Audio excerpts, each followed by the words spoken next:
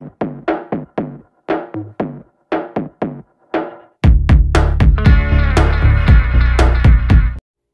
Hi, Crystal Balls. Welcome back to my channel. Thank you so much for clicking on this video today. If this is your first time here, welcome. Please think about sticking around, liking, commenting, sharing, subscribing. For everybody else, welcome. Thank you so much for being here. And a special shout out to my Patreons. You guys are amazing. So today we are going to be talking about Lisa Marie Presley. So Lisa Marie unfortunately just passed away not that long ago, and I'm coming at a place kind of out of love, but also caution, because I think there's something very weird happening here. If you don't know who Lisa Marie Presley is, Lisa Marie was the only living, acknowledged biological child of Elvis Presley. I said what I said. The only acknowledged biological child. Just keep that um, Lisa Marie is preceded in death by her dad, and unfortunately, her son. Her son passed away um, approximately two years ago, I believe, um, in a self inflicted situation. So, very sad, very, very sad.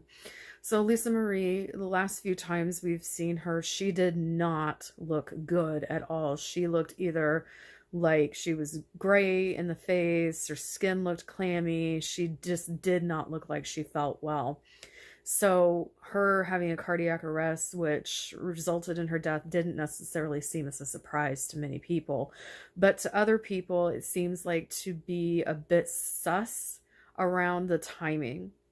Lisa Marie Presley was supposed to testify in the Danny Masterson case. And if you don't know about the Danny Masterson case, I may cover it. I don't know yet. But Danny Masterson um, has been accused of SA of three different women. Um, actually, I believe they were underage. And you know, with when it comes to children, you're guilty until proven innocent in most cases. So um, Lisa Marie was supposed to testify. Now, this is the point that we don't really know, either for or against him. Apparently, the Church of Scientology, yes, the Church of Scientology, because Lisa Marie Presley and Danny Masterson are Scientologists, were Scientologists, um, asked Lisa Marie to ask these women who have accused Danny Masterson of SA to retract their stories.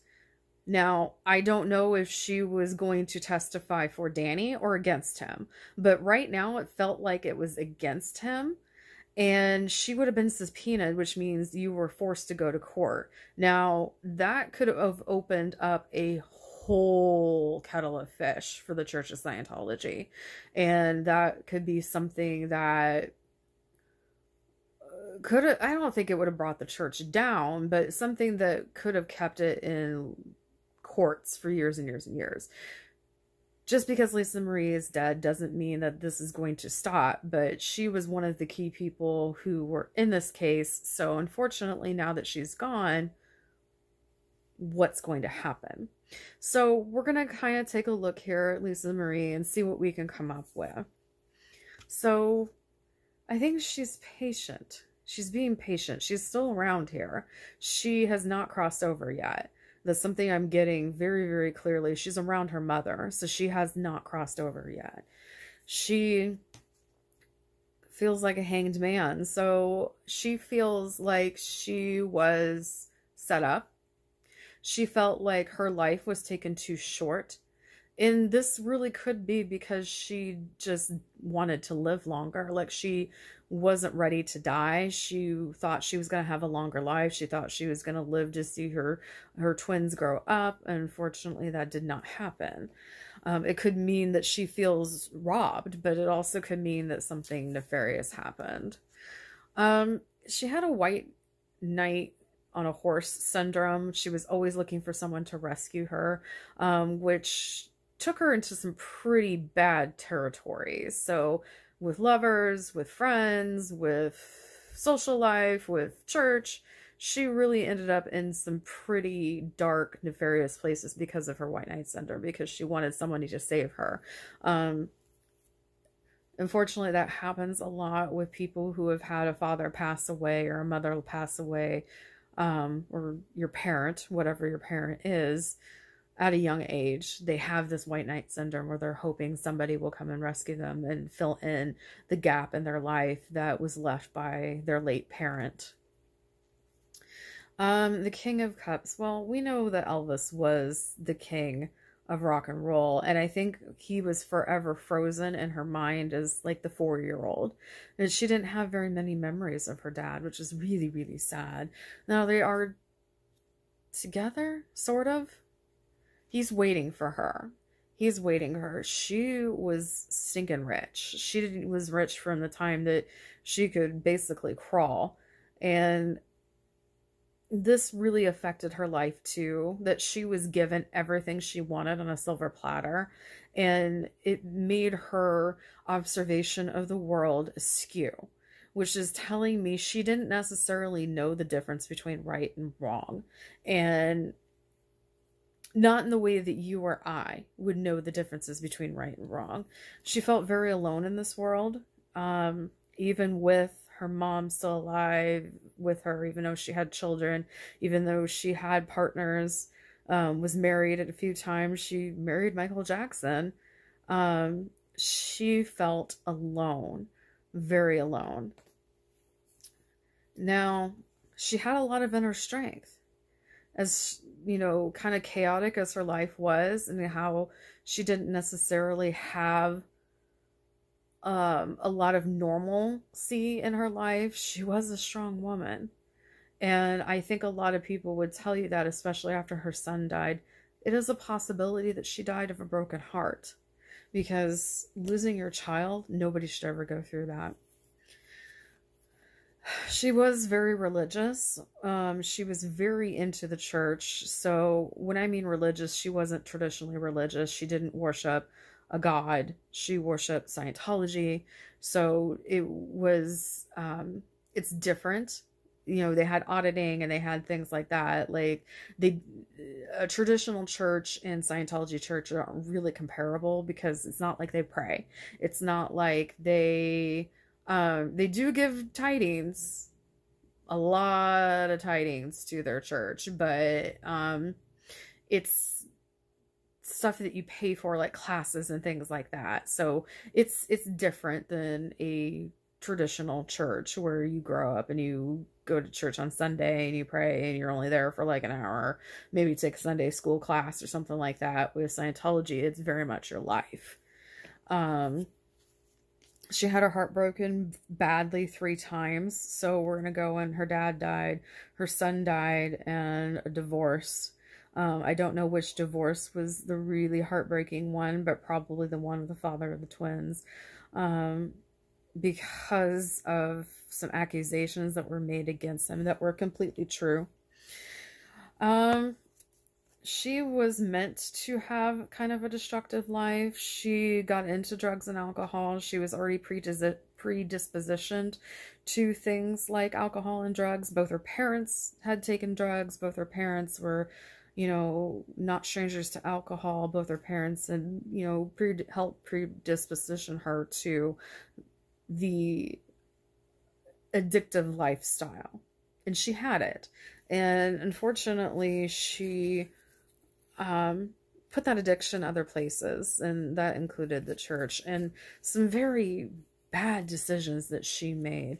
Again, was looking for somebody to save her. So she put a lot of energy into the Church of Scientology, but she also put her energy into other people. So when she was in a relationship, she completely disappeared and basically became that person's mime is the way I'm getting, like mimic that person. So when she was married to Michael Jackson, she would mimic what he wanted. She would mimic what she thought he needed, you know. Um was that marriage real? I'm gonna ask if that marriage was real. That was so weird. Yeah, it was. Um two very volatile people being together. I don't necessarily think they were lovers. Do I think they got married? Do I think they loved each other? Yes, I think they loved each other. I think they had things in common. I think um, Michael Jackson was obsessed with Elvis. I think Michael Jackson was obsessed with himself. uh, you could consider Michael Jackson being the Elvis of his age, of you know the king of pop, and um, Elvis being the king of rock and roll. She essentially married her father. Um, but was it a real relationship? Yes and no. Do I think they consummated their relationship? No. Do I think that they were deeply in love and friends? Yes. But not deeply in love, like, I love you so much. Oh my God. There's, you know, I want to spend the rest of my life with you. I want to be with you. You know, there's a reason their marriage only lasted a few years. So, do I think something nefarious happened to Lisa Marie? This is telling me, yes, it's a possibility. Um, now, this is something that she could have inflicted herself. She could have been doing drugs and alcohol at this point and it stopped her heart. You know, that's a possibility. Um, I feel like she was stabbed in the back. I feel like this case with Danny Masterson's is a lot scarier than what it looks like on the surface.